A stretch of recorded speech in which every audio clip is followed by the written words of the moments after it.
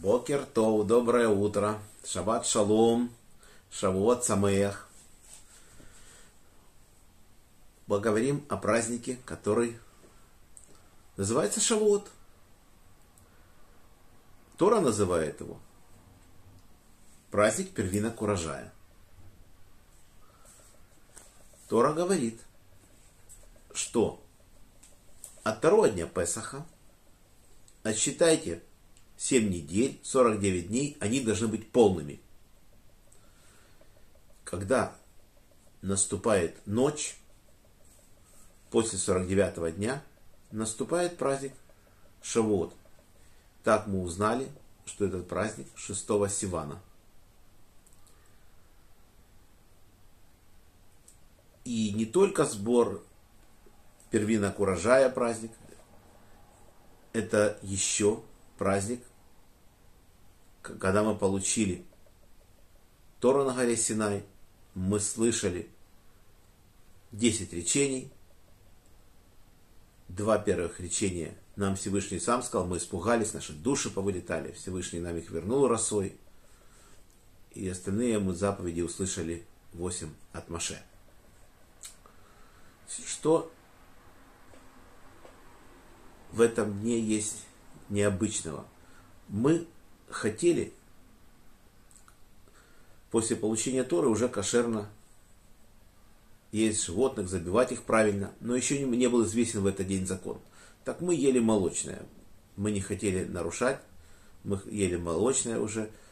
И поэтому есть такая трапеза. В начале шавута мы едим молочную еду. Об этом празднике можно много рассказывать, но мы возьмем интересную вещь из главы Вайкра. Написано в книге Вайкра, это глава Мор, по-моему. Написано, что этот день вы должны принести два хлеба из квасного теста, и после этого мы можем есть пшеницу нового урожая. Есть со второго дня Песаха мы имеем право есть уже ячменного урожая, теперь пшеницу. Так это квасные хлебы, их на жертвах не приносят. Очевидно, их коины едят. Написано в главе Пинхас, что в праздник Шавот, как и в Рашходыш, как и в Песах, мы приносим два молодых быка, одного барана, семь годовалых ягнят и так далее. Но здесь в главе Мор написано, что мы приносим одного молодого быка, двух баранов, семь ягнят. Что это такое? В одной главе так написано, в другой так написано. Как это понять? И Раши, Раби Шлома Ицхаки, благословенной памяти, он говорит,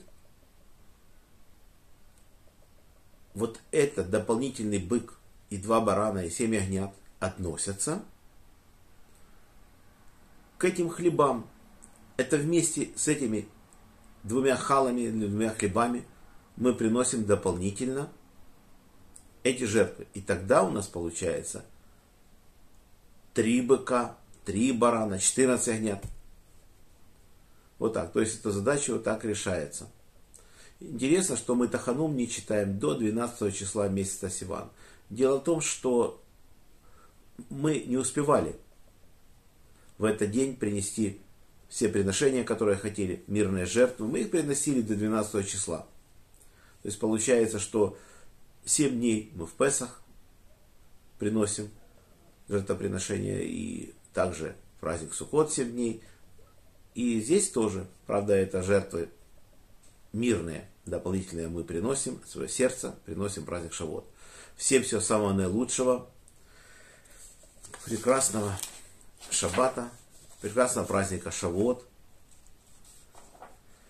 Рог был дан за поднятие души моего папы Яков бен Нахум, моего дяди Владимир Григорий, моего брата Павел Белефим, Хая Малка Йосиф, Мира бат Авраам, Роза бат Михаэль, память Юрий бен Харитон, Мендель бен Мендель, за здоровье Светлана бат Шимон бен Исхак, Борис бен Мария, Анна бат Ривка, Полина Пер бат Соня Сура, Лена бат Клара, Женя бат Ида, Анна бат Елена, Евгений бен Софья, Двойра бат Мирьям, Моисей бен Ева, Ирина бат Двойра, Йосиф бен Раиса, Инесса бат Маэль, Евгений бен Бертон, Евгения бат Ита, Фира бат Анна, Геннадий бен Елена, замазал Парансас Гула, Ирина бат Ури, Арон Арье бен Ури.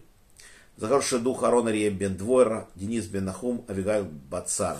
Всем всего самого наилучшего. Подписывайтесь на мой канал, ставьте лайки. Пусть закончится скоро эта война. Всем всего самого наилучшего. До следующих встреч.